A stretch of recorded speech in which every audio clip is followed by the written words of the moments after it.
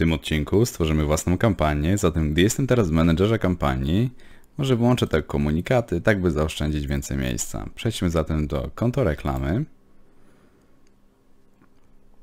I z tego miejsca stwórzmy własną kampanię. Kliknijmy otwórz. I widzimy, że na samym początku mamy parę zmiennych. Pierwsze z nich to jest świadomość marki, druga kategoria to zainteresowanie, a trzecia to konwersje. Dzielimy też na parę tutaj opcji. I ważne, żebyś zapoznał się z każdą z nich. Mianowicie, pierwsza z nich to świadomość marki. Chcemy wtedy, żeby więcej osób dowiedziało się o moim biznesie, czyli gdy chcemy powiedzieć o naszych oferowanych produktach bądź usługach naszej większej liczbie osób. Czyli chcemy po prostu dać o sobie znać innym użytkownikom, że oferujemy takie usługi, towary, tak? Chodzi o świadomość marki.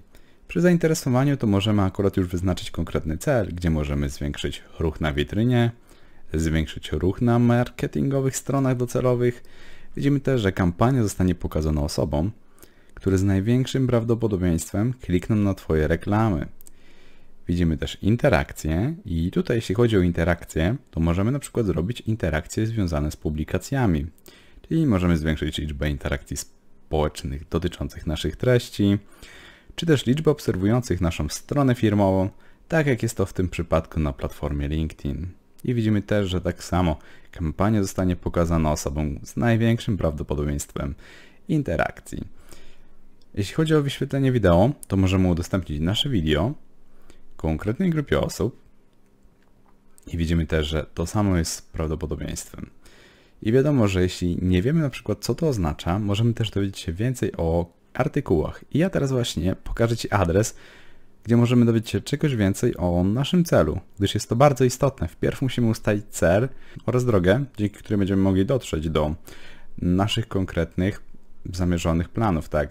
Czyli możemy zwiększyć świadomość, zainteresowanie, czy też konwersję. Zależy też na jakim etapie jesteśmy, od charakterystyki naszego biznesu, branży, no i od tego, co chcemy osiągnąć, tak? Jednak musimy podjąć tą decyzję i skupić się, gdyż zamierzamy spędzić jakieś pieniądze, więc chcemy po prostu osiągnąć jakiś pułap, który sobie założymy z góry. Więc mamy też tę konwersję, czyli możemy zdobyć większą liczbę wysokiej jakości potencjalnych klientów. Widzimy, że to są potencjalni klienci na LinkedIn i może być też formularz potencjalnych klientów wypełnionymi informacjami z profilowych LinkedIn. No oczywiście tutaj mamy też te pokazane kampanie, tak? Tylko widzimy tutaj, że przy naszym celu, no to chcemy zwiększyć naszą świadomość. No to te osoby nie będą dopasowane pod tą charakterystykę, tak? Będziemy chcieli dotrzeć. Więc jest to zależne. Gdy chcemy dotrzeć do szerszego grona, to wybierzemy to. Gdy już mamy jakieś konkretne zainteresowanie czy konwersję, no to będzie właśnie ten y, największy wskaźnik prawdopodobieństwa.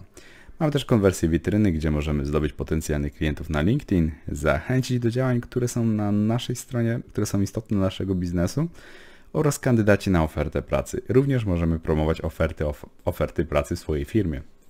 Jak wiesz, LinkedIn oferuje taką możliwość, że możemy tworzyć oferty pracy i możemy też aplikować, czyli mamy budowany all-in w jedną platformę, tak?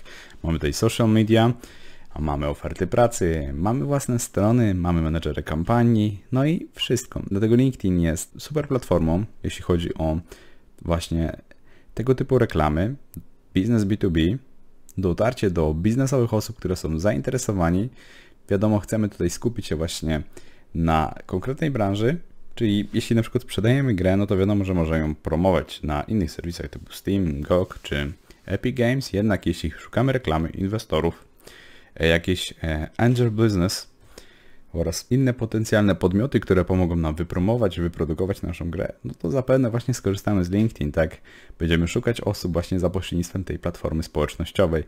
Zanim jednak przejdę do następnego etapu, gdyż jesteśmy ciągle w pierwszym kroku, to pokażę Ci artykuły, które pozwolą nam nawigować i dowiedzieć się czegoś więcej o naszym celu. Zatem, gdy stworzę jakąś powiedzmy konwersję, niech będzie konwersja, to widzimy, że gdy będziemy przechodzić, to będziemy mieli inne dane. I mamy też formaty reklamy. No te formaty reklamy to pojedyncze zdjęcie, reklama karuzelowa, widzimy reklamę, reklamę video, reklamę tekstową, prognozowane wyniki, reklamy spotlight i różne reklamy wiadomości. Jednak jeśli się powiedzmy cofnę i zresetuję naszą, może nie grupę odbiorców, a cofnę się po prostu do kampanii, nie zapisuję i wyjdę, a to dlatego, że chcę stworzyć nowy cel, i wejdę świadomość marki, to widzimy tutaj inne, inne zmienne, gdzie tutaj właśnie mamy nasze koszta oraz te wszelkie inne wskaźniki. Czyli powinniśmy się zastanowić, co jeśli chodzi o naszą grupę odbiorców, o kliknięcia, na kogo chcemy to targetować. Widzimy, że tu mamy grupę odbiorców, również widzimy, że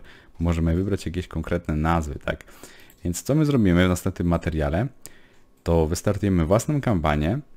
Tutaj chciałem szerzej powiedzieć co nieco o naszym celu, czyli mamy nasz consideration, brand awareness oraz conversion, czyli konwersję, tożsamość oraz nasze zainteresowanie, tak. Powinniśmy wybrać, wiadomo, przy pierwszym etapie być raczej, raczej to będzie tożsamość. Jeśli już mamy jakieś elementy, to wiadomo, że tutaj już możemy polegać na jakimś wzbudzaniu zainteresowania. No ale gdy, a gdy już mamy jakieś już bardziej rozbudowane, tak, nasze firmy i chcemy śledzić na bieżąco jakieś konwersje, no to będziemy zainteresowani tą trzecią kategorią,